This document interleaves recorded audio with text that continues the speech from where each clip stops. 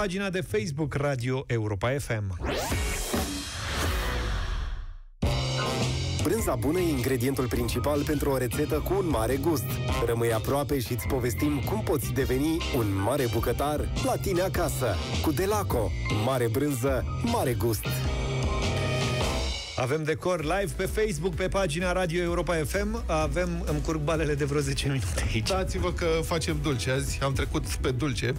Folosim ceva care se cheamă mascarpone Choco. Mascarpone. Mascarpone știi ce e, Zaf? E un, Ce e în principiu o brânzică Așa, dulce, și în realitate? Foarte catifelată. Nu, asta este. Ca un soi de combinație într-o smântână foarte groasă și o brânzică cremă foarte bună. Păi se poate mânca așa, pur și simplu? Se poate mânca, Să o nu? mănânci și așa, dar noi avem o variantă chiar mai bună. Mascarpone Choco. Mm. Fii atent. Deci mus cu mascarpone Choco și bezea italienească. Deci e foarte simplu de făcut, foarte gustoasă, nu se dă la cuptor, ceea ce e un mare avantaj. Cum se face? Deci mai întâi cumpărăm un mixer. Asta ne-ar trebui un mixer. Toată șmecheria o să fie în straturi, deci o să facem uh, niște etaje separat pe care le punem așa, le așternem unul peste celălalt și cam asta e tot. Și o să avem nevoie așa de biscuiți, Poți să gusti etajele tale cât vorbești? dulci. Nu că nu pot eu să vorbesc după aceea. Păi tocmai de asta e. Deci biscuiți, unt, zahăr, albuși de ouă, căpșune și niște frunze de mentă și apă. Și um, un borcan de 5 litri de la demurături pentru domnul Zafiu. Mă rog, un pahar. Deci, mai întâi, pentru primul etaj, mărunțim biscuiții și topim untul. 100 de grame de biscuiți și cam 50 de grame de unt, adică vreo două linguri, așa.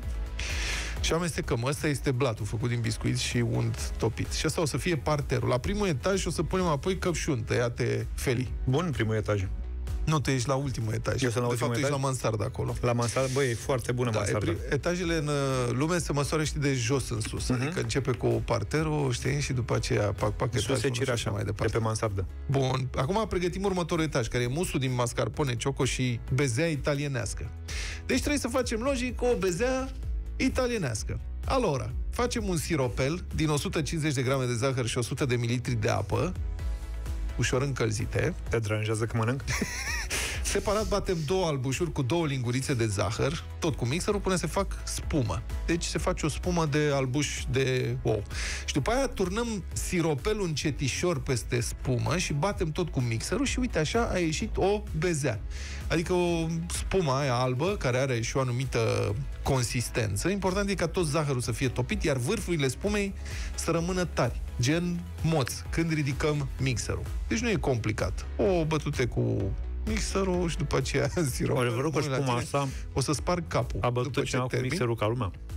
Așa, și suntem aproape gata. Și acum mixăm separat mascarpone cioco și incorporăm bezeaua italienească. Deci, practic, o să avem o, o, cum să spun, o pastă foarte spumoasă, așa, aerată, aerisită, gustoasă, de mascarpone cu ciocolată, mascarpone cioco și bezea italienească. Și stai și cauciucurile. Și iese o cremă miam-miam și ăsta este al treilea etaj, care se pune în pahar, da, sau un păhărel, cum avem noi aici, peste etajul cu căpșune.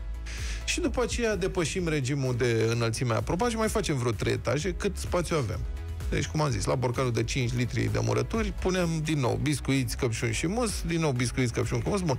Când ajungem sus de tot, o mansardă retrasă, cu biscuiți fărâmați și niște fructe la alegere, afinez meură, poate merișoare, să mai învioreze un pic dulcele ăla, știi? Mhm. Uh-huh. Nu, am făcut așa, nu, nu ca să te atrag atenția, că tu ești pierdut cu chestia aia. Bun, frunze de mentă deasupra să fie frumos, sau pentru cine preferă cu borș, po- se pune uștean. Ce bună. Da, asta e, poftă bună. Aici văd că avem și cireașă Băi, da, mie mi se și pare... bobițe de rodie. Mie mi se pare... Da, sâmburi de rodie. Adică Da. Și afine. mi se par niște eroi cei care reușesc să facă dulce, să ajungă până în faza asta, știi? Să reușești să faci toate lucrurile astea de care ai povestit, să ai răbdare Da, ca să găsești până la urmă produsul final, știi? Foarte simplu se face. Se dă la rece, da. Asta e și foarte important, um, dacă tot v-am zis până acum de mascarpone cioco, vedeți că este un concurs. Scrie și pe el, mare concurs, adică are, Pe cutia de mascarpone cioco. da, mascarpone cioco de la Delaco. Până pe 30 iulie e concursul ăsta, cu premii. Cine cumpără cutie de mascarpone cioco și după aceea înscrie bonul pe platforma pe site, pe site-ul mascarpone.mareconcurs.ro poate câștiga săptămânal un set de lingurițe pentru desert sau robot de bucătărie asta săptămânal. Câte, câte un robot de bucătărie Bosch în fiecare săptămână Tare. până pe 30 iulie, ceea ce e foarte mișto. Deci o să pot să fac și eu. Da, nu se face greu. Arată bine robotul ăsta.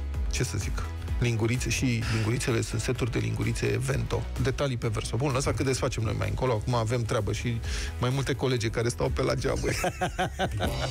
Când vine vorba de bucătărie, nu e bine să fii zgârie brânză. La Culinaria ai avut o rețetă de mare inspirație, pregătită de Vlad, George și Luca, oferită de Delaco. Mare brânză, mare gust.